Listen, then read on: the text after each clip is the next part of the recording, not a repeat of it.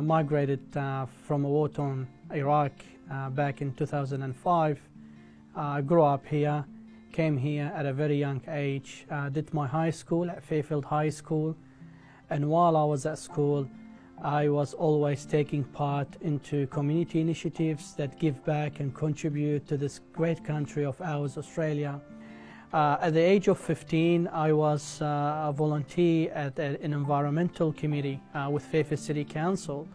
Um, I love the environment um, and, I, and I care about um, um our parks, our creeks, and uh, we always uh, want uh, to see Australia green like we always do.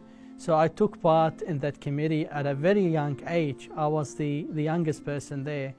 Um, and since then, I have volunteered for almost uh, 20 organizations, um, both uh, local and also around Sydney.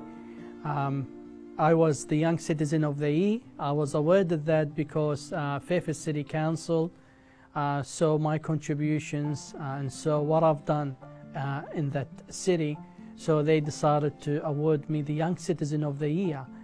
And uh, a year after that, I was given the Australia Day Medal uh, for my community work. Uh, I've done all sort of things uh, from being a volunteer uh, for uh, a couple of days to being a coordinator with the Salvation Army for their Red Shield appeal.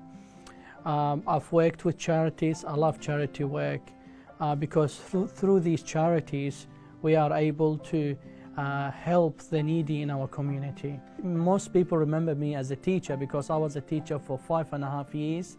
So I taught English to speakers of other languages, which was a very rewarding uh, career for me because I was able to uh, to make uh, the journey of so many migrants uh, to, Australia easier. A day like Australia Day reminds us that we all came uh, from all walks of life to this new land.